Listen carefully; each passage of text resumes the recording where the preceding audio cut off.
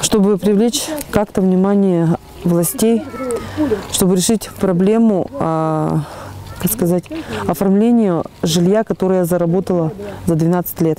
Что жильем объясните, что за проблема? Э, Я работала на предприятии, меня сократили.